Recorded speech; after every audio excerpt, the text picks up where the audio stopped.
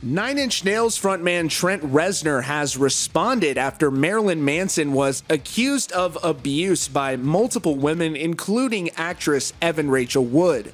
Wood published the statement on her Instagram after footage surfaced last year showing her testifying in front of the California State Senate, describing physical abuse she had suffered at the hands of a man she didn't name at the time. Wood also shared the accounts of multiple other women. Through a statement posted on his Instagram, Manson denied the claims. Now, the Nine Inch Nails frontman is sharing his perspective on Marilyn Manson. The two rock stars go back to the 90s, where Reznor discovered Marilyn Manson and his band and produced their 1994 debut album. He also produced Manson's critically acclaimed 1996 album, Antichrist Superstar.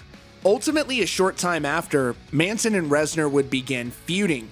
In his statement, Reznor also addresses a passage in Manson's 1998 autobiography, The Long Hard Road Out of Hell. In his book, Manson claimed that he and Reznor assaulted a woman in the 90s.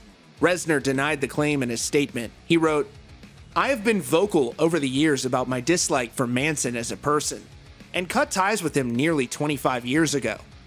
As I said at the time, the passage from Manson's memoir is a complete fabrication I was infuriated and offended back when it came out, and remain so today. Manson called the claims, quote, horrible distortions of reality, adding that his relationships, quote, have always been consensual. He was subsequently dropped by his record label Loma Vista Recordings and two television programs, Starz American Gods and Shudder's Creepshow. That's all for now.